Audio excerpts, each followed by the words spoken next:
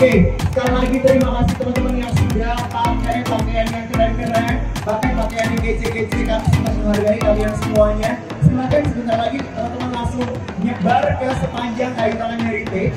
Nanti akan ada banyak sekali fotografer dan juga videografer yang akan mengabadikan aksi dan juga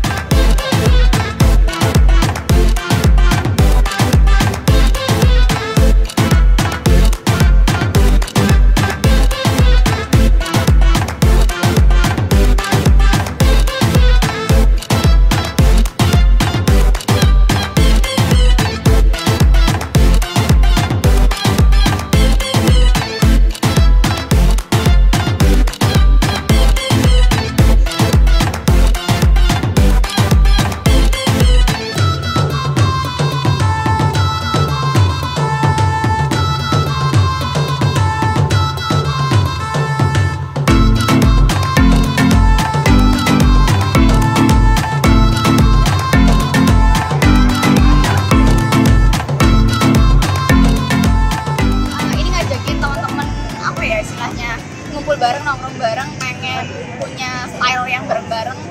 Cuman ini jadi wadah gitu gak sih? Jadi tempat aja gitu.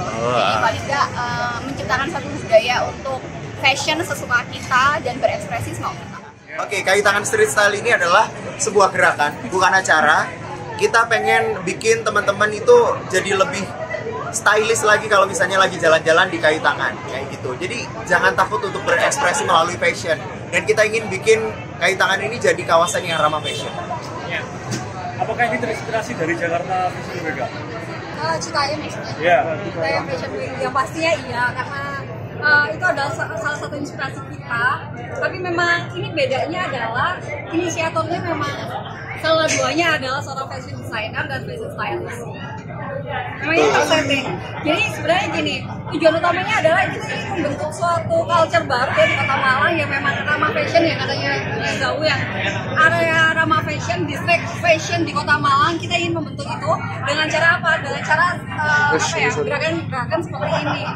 Kita membentuk membentuk culture ini harusnya mengawalnya dengan pembentukan habit dulu awalnya. kita nggak ada inspirasi apa apa sih jadi spontan aja. Jadi event ini ya bukan event ya bukan acara juga. Jadi gerakan ini tuh spontan. Jadi kita berpikiran kayak kenapa sih di Malang kok nggak ada gitu juga? Padahal peminatnya untuk fashion itu juga banyak. Jadi kita ambillah di sini. Area ini kan emang jalannya khusus untuk wisata. Jadi yang di sini eh, biar orang-orang itu lebih apa ya lebih well lebih bisa berfashion di sini karena ramah fashion Ini inisiatornya orang-orang fashion. Dua orang ini fashion stylist, fashion designer yang uh, karyanya itu juga keren-keren. Jadi kalau misalnya di Citayam itu dimulai dari uh, apa namanya anak-anak yang pengen nongkrong ataupun apa nggak ada latar belakang fashion, tapi pengen mengaktualisasikan diri lewat fashion. Tapi kalau misalnya yang di Malang ini yang menginisiasi adalah orang-orang yang paham ngerti fashion.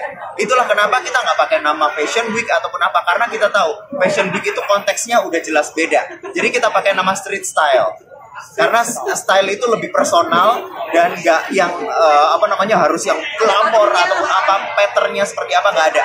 Jadi ini lebih personal